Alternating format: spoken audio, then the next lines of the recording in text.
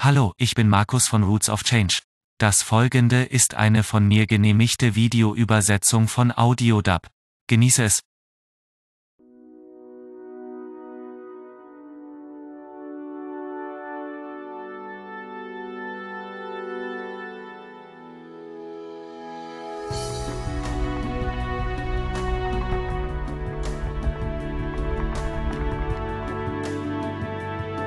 Das ist ein Messer.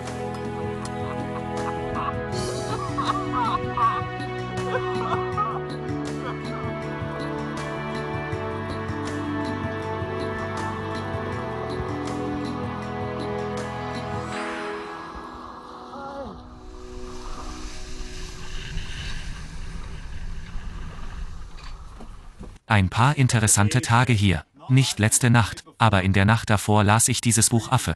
Und plötzlich hörte ich ein Schmatzen und ein großer fliegender Fisch schlug von der Seite des Bootes und fing an, an Deck herum zu flattern. Und ich beeilte mich und stand aus dem Bett auf und kletterte nach draußen. Und ich sah, dass es ein großer, saftiger, schön aussehender fliegender Fisch war. Und ich dachte, den würde ich gerne essen.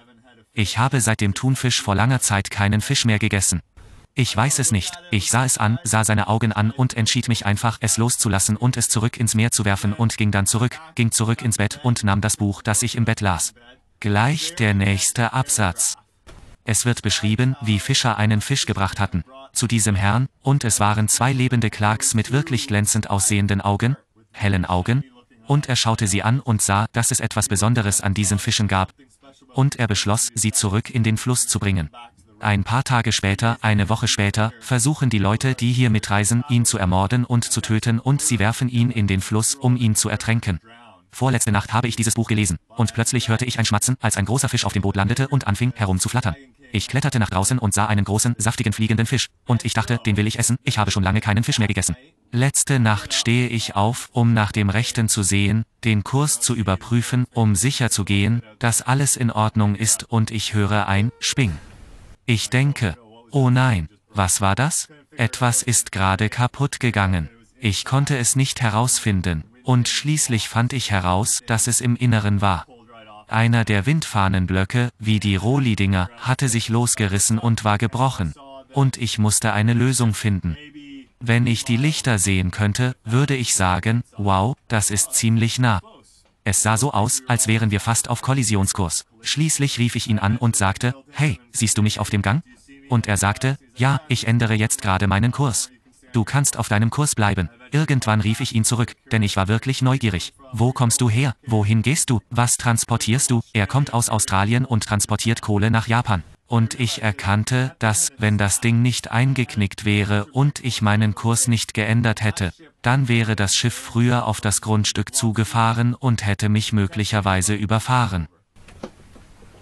Vielleicht war das also der Drachenkönig, der mich gerettet hat. Dann stand ich heute zufällig auf dem Heck des Bootes und ich weiß nicht, warum ich das tat, vielleicht, um mich zu strecken oder so. Ich schaute hinunter ins Wasser und sah dieses große dunkle Ding. Was, was ist das, was ist das? Und dann realisierte ich, dass es ein Wal war und er zeigte seine Flosse und ich segelte. An diesem Punkt segelte ich weiter und dann tat er es schließlich, schwamm herum, drehte sich um. Da ist ein Wal, der mich verfolgt. Hallo. Es gibt noch mehr Lebewesen und Fische und Wale um das Boot herum, die ich nie sehe, weil ich nicht in das Wasser um das Boot herum schaue, weil das Wasser immer so kabbelig ist. Heute bekam ich eine SMS von meinem Schwager, in der stand, dass es in der Nähe der Küste von Papua-Neuguinea ein Erdbeben gab und es für die nächsten drei Stunden eine Tsunami-Warnung für meine Gegend gibt. Heute bekam ich eine SMS von meinem Schwager, in der er mir mitteilte, dass es vor der Küste von Papua-Neuguinea ein punktuelles Erdbeben gab und dass es für die nächsten drei Stunden eine Tsunami-Warnung für meine Gegend gibt, die wahrscheinlich bald zu Ende geht.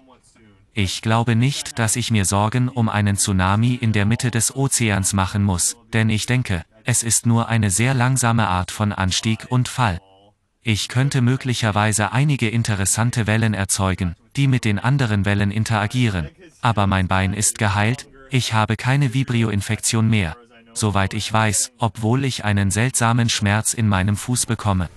Das ist so gut wie geheilt. Der Schorf an diesem Schnitt ist nach etwa einem Monat endlich abgefallen. Das war ein epischer Schnitt. Ziemlich krass. Ich dachte, ich würde ein Glied verlieren. Das werde ich nicht tun. Ich werde kein Glied verlieren. Ich werde kein Glied verlieren. Zumindest hoffe ich das. Bis jetzt bin ich sicher, gesund und nur noch ein paar Tage von Palau entfernt. Mein Wetterfrosch Onshore Dylan ließ mich wissen, dass ich mit ziemlich starkem Wind und hohem Wellengang rechnen muss, wenn ich in Palau ankomme. Wir werden also sehen, vielleicht schleiche ich mich rein, bevor sie kommen. Wenn nicht, könnte es eine ziemlich interessante Einfahrt nach Palau werden.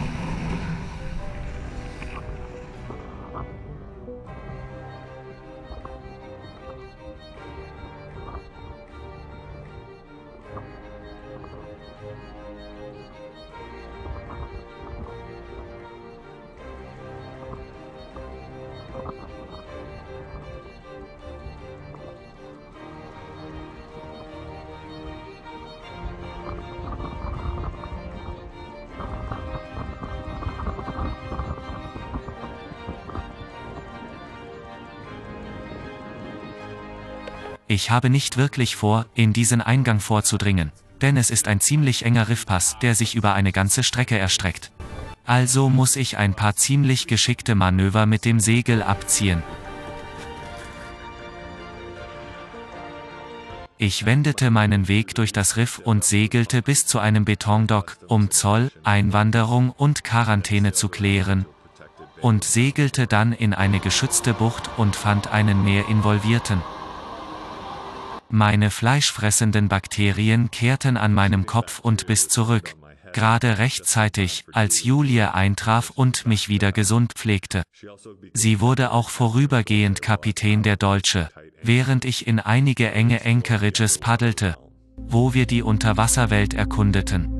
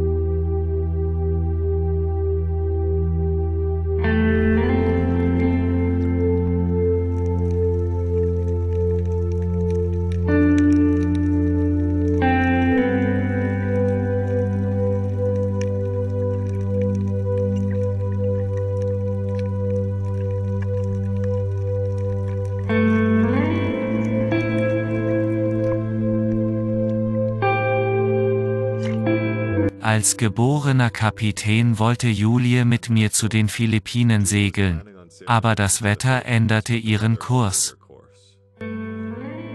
Mal sehen, wer sich mir als nächstes anschließt. In der nächsten Folge.